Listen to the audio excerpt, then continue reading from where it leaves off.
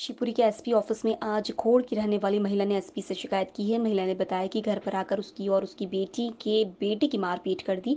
इसके बाद झूठे केस में फंसाने की धमकी दी है। जानकारी के अनुसार ललीबाई जाटव, पत्नी कैलाश जाटव, निवासी ग्राम खोड़ थाना भोती ने आज शिवपुरी एसपी को आवेदन देते हुए कहा कि पुत्री शकुंतला की शादी निवासी महोबा डामरोन में सुरेश के साथ हुई थी और उसके ससुराल वाले सुरेश बाबू जगदीश व कपूरी द्वारा पुत्री की हत्या कर दी और आरोपी जेल में है। और पुत्री शकुंतला का पुत्र अतुल मेरे साथ रहता है। उनके रिश्तेदार हुआ मिलने वाले कमल सिंह पुष्पेंद्र रवि निवासी ग्राम होवा और इंद्र रेडीवाला व आशाराम बरेला वाला आए दिन घर आकर गाली गलोच करते हैं और जान से मारने की धमकी देते हैं और बेटे अतुल की मारपीट कर दी और जान से मारने की धमकी देते हैं। इसकी शिकायत महिला ने एसपी से की है।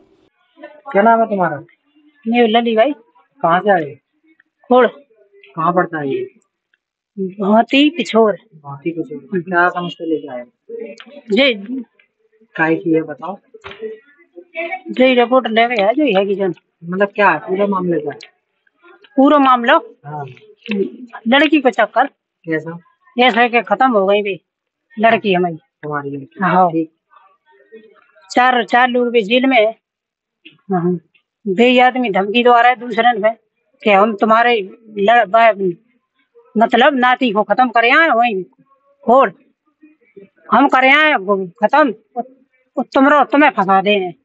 अच्छा। मतलब जो कह रहे भी धमकी कौन दे रहा कमल सिंह और पुष्पेंद्र। धमकी क्यों दे रहे हैं रवि। और है ना आके देखो महोबा धमकी क्यों दे रहे हैं आप? धमकी ज़्यादा है कि अब दे लड़की बहन ने खत्म करते ही पड़े हैं दे आदमी ने अच्छा। हाँ।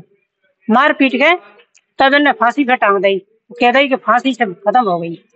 अब आपने इस मामले में संबंधित थाने में इसकी शिकायत की? सबके वो कर दी शिकायत। तो फिर क्या हुआ?